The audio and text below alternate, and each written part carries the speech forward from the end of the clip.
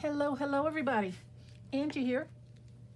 I'm coming on to do the um, daily make for the hashtag Dephemerember, a month long of events of daily ephemera makes.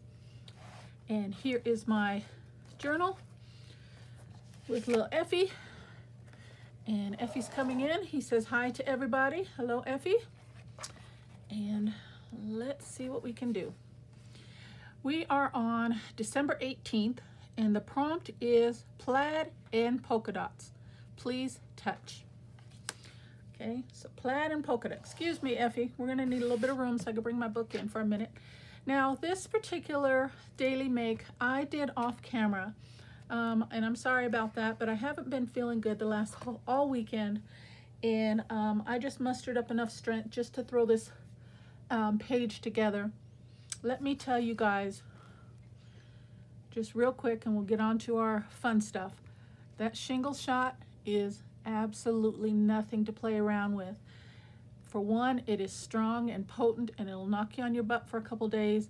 But two, which is kind of rare, I guess, maybe for myself, but I got an infection in my arm from the site where they poked me. I don't know how it happened, but um, yeah, I was down and out for from Friday till today and um, feel like crap still a little bit, but I'm doing better.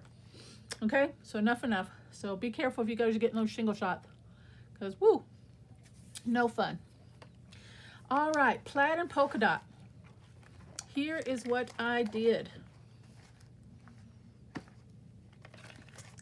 I just took the digital page um, from the kit, from the Effie kit, Dephemerember kit, and it had a page from the kitchen, okay, a full page. You, and I showed that whole kit at the beginning of the series, so if you are curious as to what the full page looks like, you wanna, might want to go back to day one and take a peek. But it was just a page of the kitchen. He's up on the counter doing his dishes. So I cut it down to fit my page, and I cut off the dishes there. So I just brought them over to this side. I fussy cut them out, and just pasted them over on this side is all I did. And then I made me some plaid and polka dot curtains. And I think they go tremendously well with the colors on this page. I just did a really quick zigzag stitch all the way around, brought in some gold beads as some curtain ties, and um, for the rod, I just used a wooden skewer and then a couple beads, some wooden beads, and then two more of the gold beads up on top. And I think it came out really cute. And he was holding a dish towel, so I just um, cut off a little scrap piece and made him a dish towel mat to match his curtains. And as you can see, I stitched some scraps. So it goes plaid, polka dot, plaid, polka dot, so they do touch. And just did a tie back. I wanted to, and I may still try to figure out a way when I have more mental capacity and energy. Um, I wanted to cut the window open to where like you open in it or something and have a view of something. I don't know. I don't know if I could still do it because I have something on the other side. But that was my original thought. Um, but really, I just really wasn't feeling up to it. But I did want to get this video out and up on time. So this is where I left it. Very simple, but oh so adorable. I think with this kit, he is developing such a cute little house.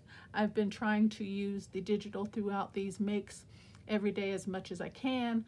So I've used his house, I've used his kitchen, I've used his bathroom. Um, really all that's left is his bedroom. So I'm gonna have to try my best to get that worked into one of the daily makes before the series is ended.